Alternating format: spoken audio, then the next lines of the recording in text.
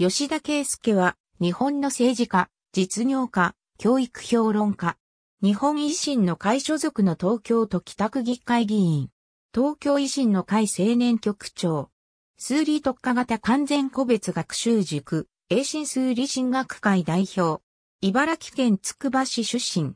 東京都北区赤羽在住。1992年8月27日、愛知県一宮市生まれ。三人兄弟の長男で二人の妹がいる。吉田の基地の字は正確にはであるが、政治活動や自身のホームページでは基地と表記されている。この点について自身が運営する学習塾のブログにて、こだわりは特にないと述べている。2005年茨城県つくば市立松代小学校卒業。2008年茨城県つくば市立手代木中学校卒業。中学ではテニス部に所属していた。2011年に茨城県立牛久栄新高等学校卒業。高校時代は遅刻、欠席癖があり、校内テストでは学年再開、模試では偏差値20代、先生から退学届を渡されるなど、自他共に認める落ちこぼれ生徒であった。大学受験に失敗し浪人生活を送ることになる。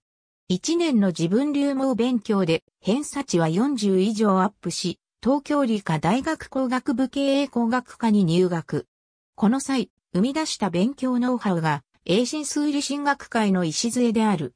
なお、大学は3年時に中退している。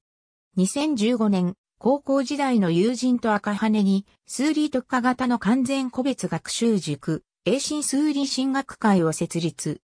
開校1年で生徒数は100人を超え、校舎を複数展開するなど、100人の子供の偏差値を上げた男として注目を受け始める。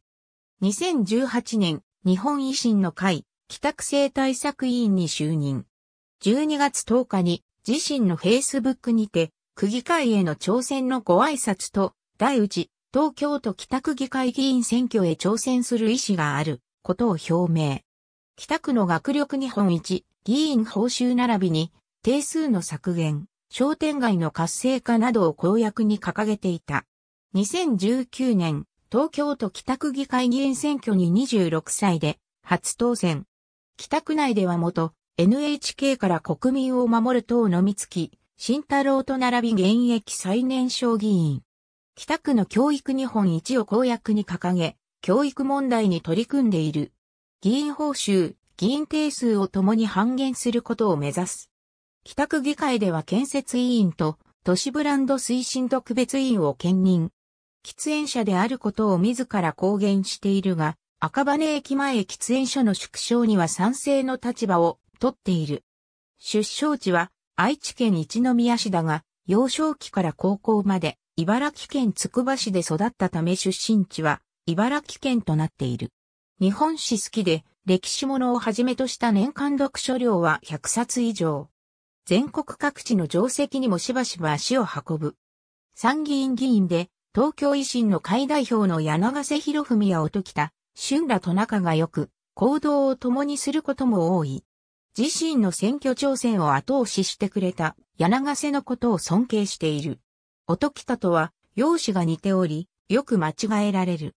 選挙挑戦の様子は同氏の YouTube チャンネル、やなちゃんで公開されている。吉田圭介公式ホームページ、赤羽、王子で数学に強くなる個別指導塾、英新数理進学会。